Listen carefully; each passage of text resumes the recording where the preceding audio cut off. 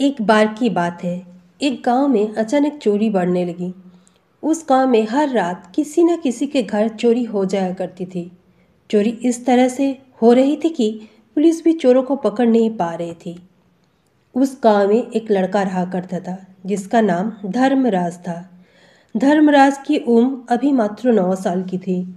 धर्मराज एक बहादुर लड़का था। वह भी बहुत समय से चोरों को पकड़ना चाहता था। एक दिन उसे पता चला कि चोर किस रास्ते से आते हैं।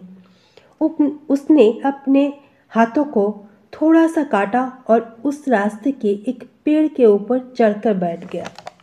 उसने अपने हाथों को इसलिए काटा था कि उसे नींद ना आए। जब आधी रात हुई तो करीब पाँच चोर गाँव में उस रास्ते से घुस गए। जब बहुत चोर गाँव में घुस गए तो धर्मराज ने आधे से अधिक गाँव वालों को जगा दिया।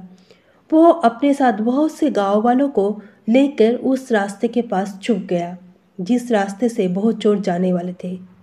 आखिरकार बहुत चोर चोरी करने के बाद वहाँ आ ही गए। फिर क्या था? सारे गाँव वाले ने मिलकर सभी चोरों को पकड़कर पुलिस के हवाले कर दिए। सारे गाँव वाले धर्मराज की हिम्मत की तारीफ़ कर रहे थे। आशा करती हूँ कि यह कहानी आपको बहुत पसंद आई होगी। कहानी पसंद आई तो लाइक सब्सक्राइब एंड शेयर ज़रूर करें। और इस कहानी पर आपकी क्या राय है, हमें कमेंट करके ज़रूर बताइए